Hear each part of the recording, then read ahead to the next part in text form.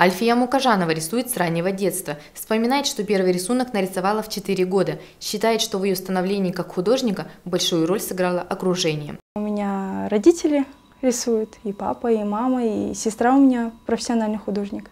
Она ходила в художественную школу, она ее закончила. Вот. Я, конечно, как младшая сестра, всегда повторяла все за ней. Она приходила, те задания, которые она выполняла в школе, повторяла все я за ней. Как бы рисовали все. У меня двоюродные сестры, двоюродные братья, все рисуют. Альфия может рисовать все, однако предпочитает писать портреты. Еще одно направление, которое пользуется популярностью у молодежи – шаржи, она также исполняет. Рисование пока что ее хобби, но планы грандиозные. Вместе с мужем, тоже художником и дизайнером, они создали страницу в Инстаграм, где показали свои работы. Идея оказалась успешной, степногорцы узнали о современном талантливом художнике. Куандык Данияров, преподаватель изобразительного искусства, считает, что художник должен быть патриотом своего родного края, воспевать природу, настроение своего народа, родины и отношения свое показывать в своих работах. Художник – это очень большое понятие. Это не каждому дано, чтобы видеть прекрасное. Прекрасное оно существует вокруг нас всех. Обыденный человек не замечает это. А вот художник, он видит все это прекрасное – и он это прекрасное отображает и доводит до людей в виде каких-то работ и показывает свое отношение сердцу и душу.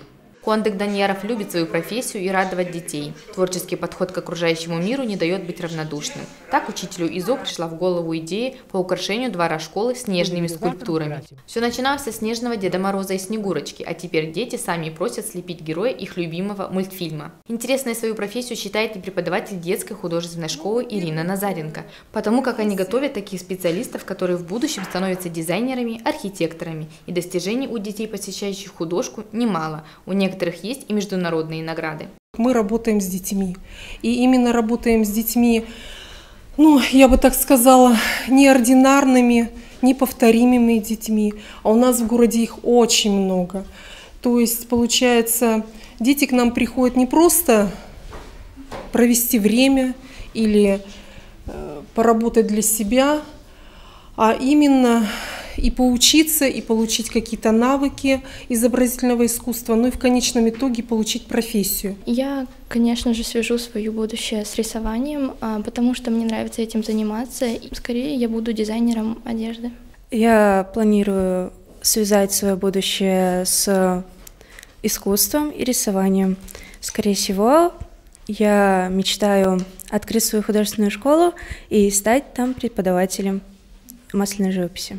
Всех степногорских художников объединяет одно – любовь к родному городу, к родному краю. Живя здесь, они ценят его красоту и воспринимают его таким, какой он есть, настоящим. Если бы у меня была возможность нарисовать наш город Степногорск заново, а, много я бы, наверное, не меняла, потому что это а, действительно мой любимый город. Я здесь родилась, я здесь живу 27 лет.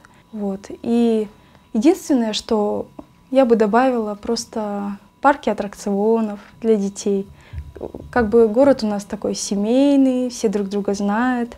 Вот, в основном живут молодые семьи с детьми. Мне очень нравится то, что он такой маленький, зеленый, свежий воздух. Вот. Была в многих других городах и как бы такого города никогда не видела. Степногорск – город талантов, это подтверждают сами художники. И для их самореализации им хотелось бы создания некого арт-пространства, для того, чтобы собираться всем вместе, обсуждать интересные идеи, выставлять свои работы, для того, чтобы их видели жители и смогли оценить их творчество.